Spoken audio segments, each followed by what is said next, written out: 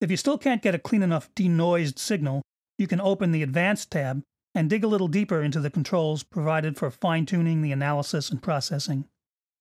You'll see a couple of controls that should be familiar from regular dynamics-based noise gates, knee and release. Naturally, knee smooths out the detection for noise signals near the threshold, possibly resulting in fewer artifacts, while release can be used to address issues like slight softening of transients. The other advanced controls affect the algorithm and the tonality of the residual noise floor itself. You can select more complex algorithms. Notice how the quality setting changes these. The FFT size can be altered. FFT stands for Fast Fourier Transform, the math used in spectral processing to isolate different elements of the complex signal.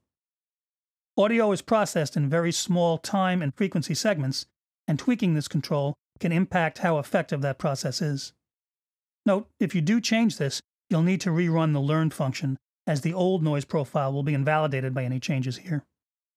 Under Noise Floor, you have four controls that can subtly shape the sound of the processed audio, again, reducing artifacts, especially subtle high frequency loss. As you can see, the voice denoise module has pretty much the same controls and functions as the basic spectral denoise layout, except that its algorithm has been optimized to remove noise and background sound under a voice specifically. Once again, it learns the noise profile and then applies that to the audio.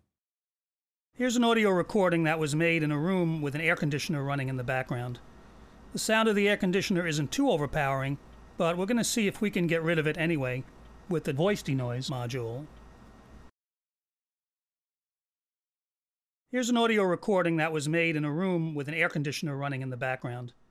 The sound of the air conditioner isn't too overpowering, but we're going to see if we can get rid of it anyway with the voice denoise module. If we're successful, voice denoise will be able to identify the AC sound and then remove it from under the vocal recording. There are switches to allow for further optimizing the algorithm for spoken word or music.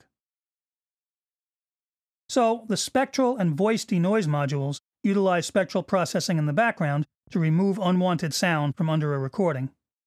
The next module, Spectral Repair, lets the user take a more active role in isolating unwanted sound via graphic selection in the spectrogram display.